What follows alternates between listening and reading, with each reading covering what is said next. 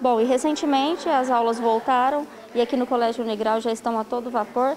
E hoje a gente vai presenciar uma palestra será ministrada pela Diane, ela que é psicóloga socioemocional, ela que é da Escola da Inteligência, é sobre esse assunto que eu vou falar com ela. Diane, seja bem-vinda, Mococa. Obrigada. E me fala, como que você vê a importância dessa relação família e escola? Importantíssimo, né? Hoje eu acho que a educação ela vem mudando. Acho que os dois anos de pandemia ela veio para tirar a gente da nossa zona de conforto, né, para levar para o campo de aprendizagem.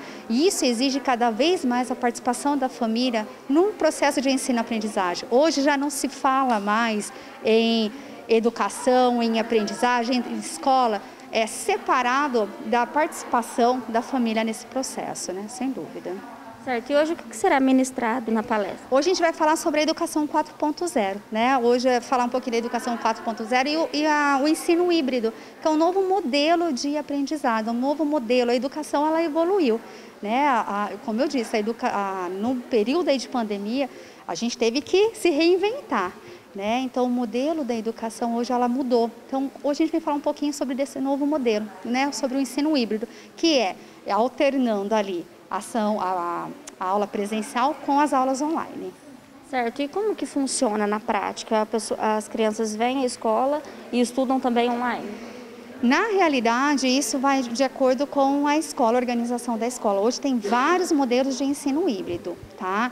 É, não necessariamente a criança ela tem que ficar em casa, mas ela também vai estudar em casa. Ela vai vir sim para a escola, como já é feito normalmente, mas vai ter um complemento. Então, o ensino ele não vai ficar limitado somente ao material físico, né? Então, hoje tem outras formas, outras estratégias da gente desenvolver autonomia nessa criança, né? Disciplina para ela buscar o próprio aprendizado, através de músicas, através de podcasts, através de leituras.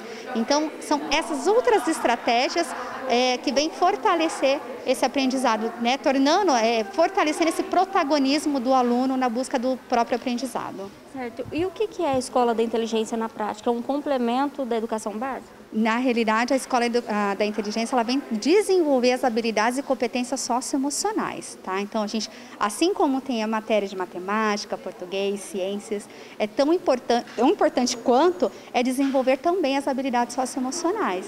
Né? Então, trabalhar resiliência, a empatia, o trabalho em equipe, resolução de problemas, tomadas de decisões, que a gente sabe é, que esse aluno, a gente a importância não é só trabalhar, desenvolver o cognitivo.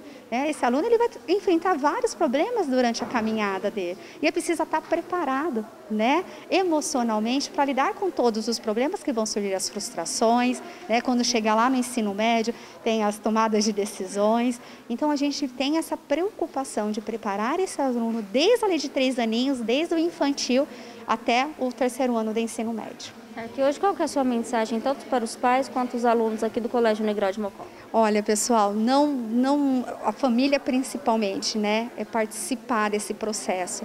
Eu sinto, é, é, é triste, né, mas a gente vê que, infelizmente, Uh, as famílias estão muito distantes nesse processo de ensino-aprendizado. Né? E quanto mais os alunos vão crescendo, é, mais distantes vão ficando. Então, não percam nessa essa fase importantíssima da vida desses alunos. Participem. Né? E os alunos, da mesma forma, contem com a família como rede de apoio.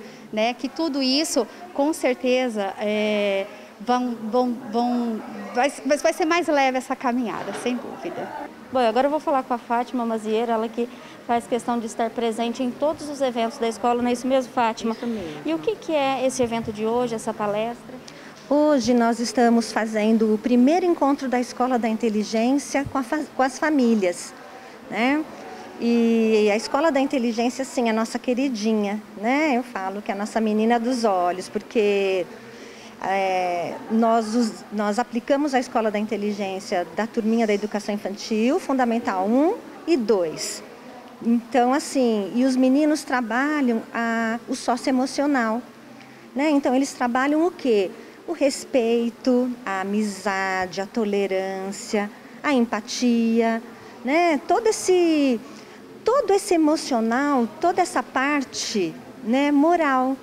Então, assim, que falta muito nos dias de hoje. Pois é, Fátima, a gente sabe que as crianças são verdadeiros multiplicadores e o que eles aprendem é que eles vão levar para casa e por onde passarem. E vocês prezam muito por isso, na né? relação da família e a escola. Por quê? Isso, a gente precisa muito da participação da família, né? Eu sempre falo muito isso. Essa parceria que funciona, né? Porque a escola sozinha não é nada e a família também não. Então, essa parceria, ela é necessária, né? E ela funciona. Então, assim, a gente quer sempre ter a família ao nosso lado, né? Juntos, juntos construindo para os filhos, né? E para os nossos alunos. Então, assim, a Escola da Inteligência faz isso, né? Ela faz com que a gente trabalhe família, né, o tempo todo e que eles estejam próximos da gente. Pois é, e a família foi importante, principalmente nesse momento de pandemia que as crianças estavam estudando em casa, né? E nesse retorno para a escola, como que foi, como que tem sido nesses últimos dias?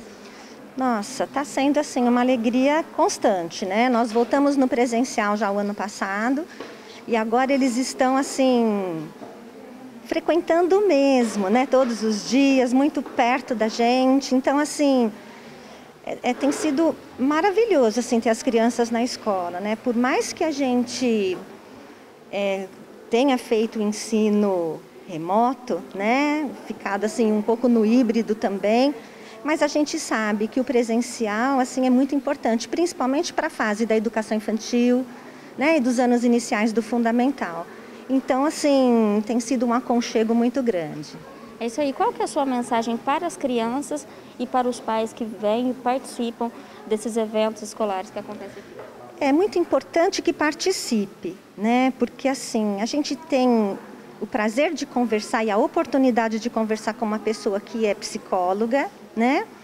E que vai falar, dar dicas é, e falar coisas boas assim para que a gente use com os nossos filhos então, quanto mais a gente puder ouvir, tudo que a gente consegue ouvir é sempre muito bom. É isso aí. Então, esse foi mais um evento, mais uma ação do Colégio Unigral, em parceria com os pais. E você, pai, escute os seus filhos. E você que é filho também, conte com a escola e a parceria dos seus pais.